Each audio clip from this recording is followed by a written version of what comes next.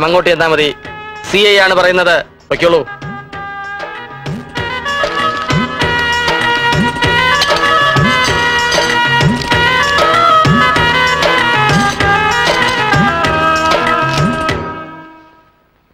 സ്വർണം പണയം വെച്ചിട്ട് വല്ലവരും ചെക്ക് വാങ്ങി പോരോ?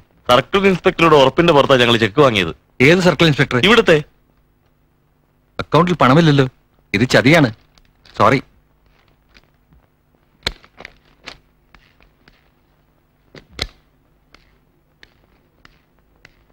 ഇന്നലെ അഞ്ഞൂറ്റൊന്ന് രൂപയിലെ അക്കൗണ്ട് തുടങ്ങിയല്ലോ. സി ഐയുടെ കൂടെ വന്ന് നിർത്താൻ പത്തിരുപത് ചെക്ക് കൊടുത്തു വിട്ടിരിക്കുക. ആളുകൾ ബഹളം വെക്കുന്നു സാർ അതെന്ത് പരിപാടിയാ? സി ഐ ഒന്ന് വിളിച്ചു നോക്കാം. ഏയ് അങ്ങനെ സംഭവിക്കാൻ വഴിയില്ല. സി ഐ സാർ ഒരു മാസമായി ലീവിലാണ്. നിങ്ങളെ ആരോ പറ്റിച്ചതാണല്ലോ. എങ്കിലൊരു കാര്യം ചെയ്യൂ. ഒരു പരാതി എഴുതി തരൂ ഞങ്ങൾ വേണമെങ്കിൽ അന്വേഷിക്കാം. ഓക്കെ?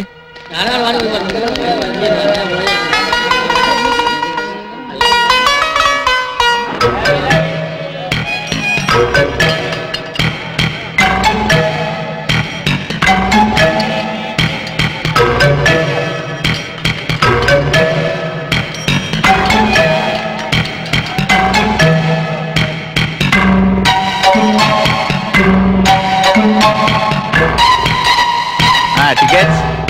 സ്ത്രീകളുടെ സീറ്റ് ഒഴിഞ്ഞു കിടക്കുന്ന കണ്ടില്ലേ? അവിടെ ഇരിക്കേ.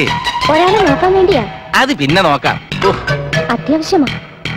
മൂടിപ്പൊതിച്ച് വന്ന് കേറിക്കോളും. കണ്ണും കാണില്ല പറഞ്ഞാലും മനസ്സിലാവില്ല. അവിടെ ഇരിക്കേ. ആ ടിക്കറ്റ് ആ ആരാ ടിക്കറ്റ് എടുക്കാതെ ആ ടിക്കറ്റ്സ് ടിക്കറ്റ്സ് ആ.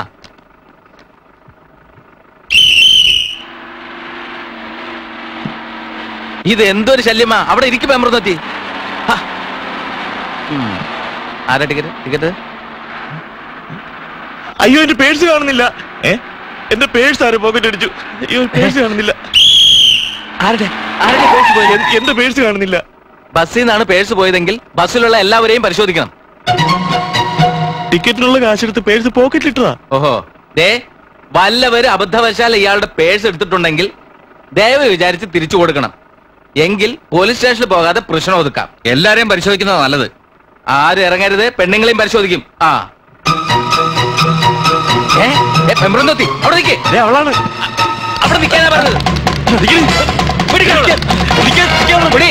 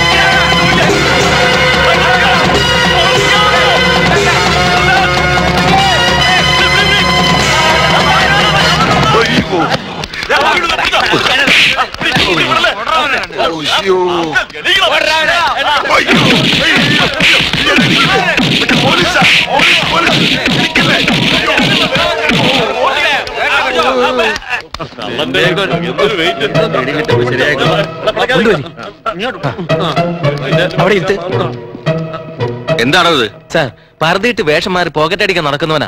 ബസ്സിൽ നിന്ന് പേഴ്സ് അടിച്ചിട്ട് വിഴുങ്ങി കളഞ്ഞു സാർ. എന്ത്? പേഴ്സ് വിഴുങ്ങി അതെ സാർ ഇവൻ സാധാരണ കള്ളനല്ല തിരിമുറിഞ്ഞ കള്ളനാ. ഇവൻ എന്തെല്ലാം വിഴുങ്ങിയിട്ടുണ്ടെന്ന് ആർക്കറിയാം.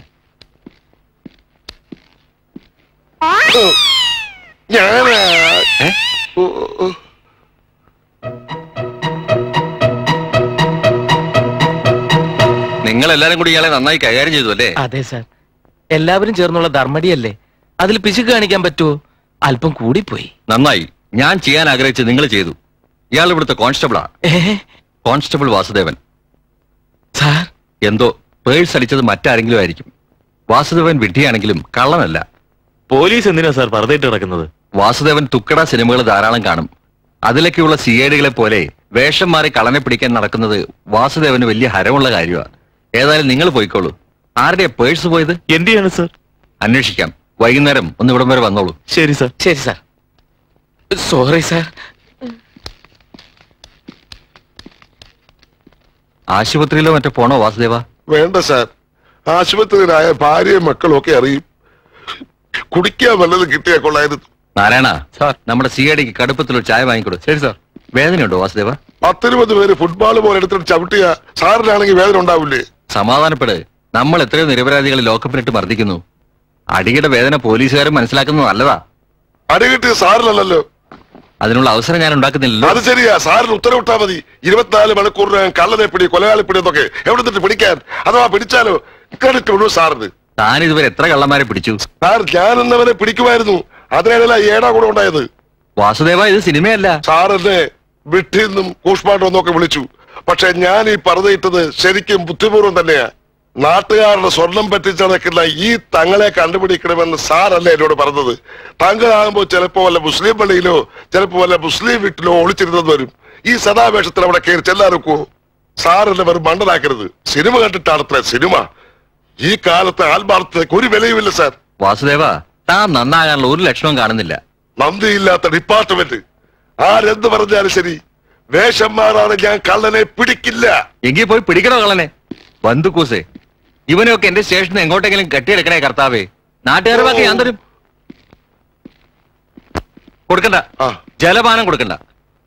കൊണ്ടുപോണോ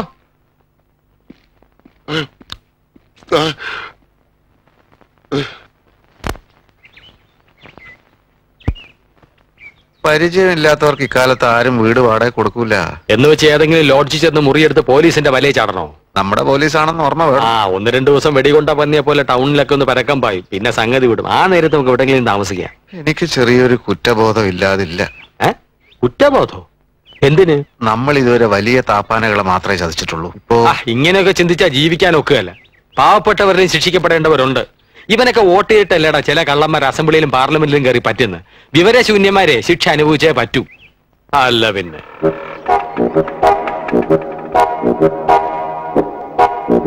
എടാ പണ്ട് ഒത്തിരി വിധികൾ അമിത പലിശ മോഹിച്ച് പണം കൊണ്ടൊന്ന് ബ്ലേഡ് കമ്പനിയിലിട്ടു അവസാനം ബ്ലേഡ് പൊട്ടി പണം പോയി. ഇപ്പൊ അതേ ബ്ലേഡ് കമ്പനിക്കാർ പുതിയ വശത്തിൽ ഇറങ്ങിയിരിക്കും എന്തോന്നാ തേക്ക്? ഇരുപത് വർഷം കൊണ്ട് അഞ്ഞൂറ് ഇരട്ടി ആദായം. തേക്കിനെ പൊട്ടിക്കാൻ വേറെ കള്ളന്മാർ മാഞ്ചുമായിട്ട് ഇറങ്ങി. പിന്നെ ആട് കോഴി എലി എന്ന് വേണ്ട എന്തിലും യോമാർ ഇറങ്ങും? പറ്റുകയും ചെയ്യും. പണം ഉണ്ടാക്കാനല്ല പ്രയാസം സൂക്ഷിക്കാനാണ് പ്രയാസം. ആട് മാഞ്ചിയും തേക്കിനേക്കാൾ ഭേദം നമ്മൾ തന്നെ അല്ലേ? പിന്നെ സംശയം എന്ത്? നോക്കുന്നല്ലോ മുൻപരിചയമുള്ള ആളാണോ ഇവൻ? എക്സ്ക്യൂസ് മീ ഫിലിം പ്രൊഡ്യൂസർ കപ്പക്കുഴിയിൽ അപ്പാച്ചിയുടെ വീട് ഏതാ? എന്തു കുഴി കപ്പക്കുഴി അപ്പാച്ചി. നമ്മുടെ മുരുക്കുമ്പുഴ മുരുകേശനെ വെച്ച് ഒരു പടം എടുത്തില്ലേ? മാറി നെല്ല് വല്യമ്മേ മതിലിടിയോ കേട്ടിട്ടില്ലേ?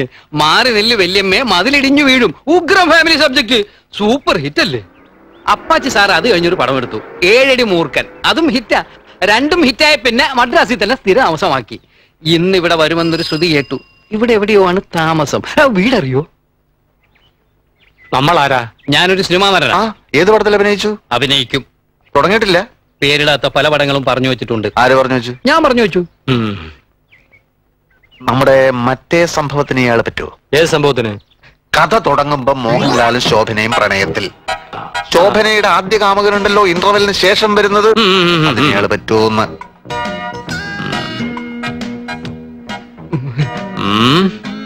ഹൈറ്റ് ഇല്ല പിന്നെ കുടവയറും ഉണ്ട് അത് ശരിയാണ് പക്ഷെ ഫേസ് കൊള്ളാം നല്ല ഗ്ലാമറാ സാറന്മാരെ എനിക്ക് മനസ്സിലായില്ല. ഇങ്ങനെ വഴി കണ്ടവനെ കൊണ്ട് ജയിക്കേണ്ട വേഷമല്ലത്. ഡാൻസും പാട്ട് സ്റ്റണ്ടും ഒക്കെ ഉള്ളതാ. വാ നമുക്ക് പ്രഭുദേവയെ കണ്ട് ചോദിക്കാം. ബാ റഹ്മാൻ ഇപ്പൊ ഇവിടെ sir! Sir sir sir sir. ഞാൻ ഡാൻസ് ചെയ്യാൻ സാർ. സ്റ്റണ്ട് ഒരു പ്രശ്നമേ അല്ല സാർ. ഞങ്ങൾ തന്നെ പിന്നീട് അറിയിച്ചോളാം. സാർ ഓ വേണം. ഞാൻ കാൽ പിടിക്കാം സാർ. നടക്കുമ്പോ കാൽ പിടിച്ചങ്ങൾ മറിഞ്ഞു വീഴില്ലടോ. അല്ല, ഒരു സെക്കൻഡ് ഒന്ന് നീട്ടിയാൽ വേണ്ട വേണ്ട. കാക്ക കാലുപിടുത്തവും കാൽ പിടുത്തവും ഒന്നും വേണ്ട. അഭിനയ്ക്ക് ഇറങ്ങിത്തിരിക്കുമ്പോ അഭിനയം എന്താണെന്ന് മാത്രം അറിഞ്ഞാൽ മതി. ഞാൻ പോസ്റ്റൽ ട്യൂഷൻ വഴി അഭിനയം പഠിച്ചതാണ് സാർ. ആണോ? എങ്കിലാ വേഷം ഇയാൾ തന്നെ ചെയ്യട്ടെ. ഒന്ന് പിടിച്ചേ. നന്നായി വരട്ടെ. താങ്ക് യു എന്റെ എന്റെ ദൈവങ്ങളാ സാറന്മാര്. ഞാൻ സൂപ്പർ സ്റ്റാർ ആയി കഴിഞ്ഞാൽ സാറന്മാരുടെ മുമ്പിൽ ഞാൻ ജാട കാണിക്കില്ല. ജാട കാണിച്ചാൽ തന്റെ നെഗറ്റീവ് ഞങ്ങൾ ചുരുട്ടിക്കളയും. അങ്ങനെ ചുരുട്ടിയാൽ മുഖം ഇങ്ങനെ ഇരിക്കും. അയ്യോ. മതി. സാറന്മാരുടെ പേരറിഞ്ഞാൽ കൊള്ളാമായിരുന്നു. ഹിന്ദി പടങ്ങൾ കാണാറുണ്ടോ? അത്യാവശ്യം. ദോ ചോറോങ്കി കഹാനി കണ്ടോ? ഇല്ല. അത് ഞങ്ങൾ